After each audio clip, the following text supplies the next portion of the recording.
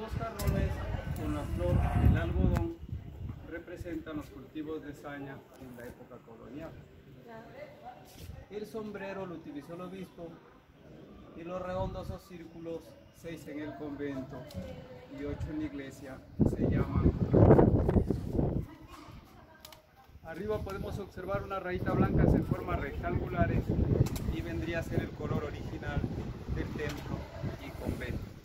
Es un diseño como de ladrillos. A, a ver, material que se empleó es ladrillo y calicanto. El calicanto es la cal, arena y clara de huevos de aves guaneras. También le iba a decir que las campanas fueron tocadas con sogas desde abajo. Ahí podemos observar las huellas que están debajo de los campanarios. ¿Sí se nota, no? Sí, como el cabadito. Eh,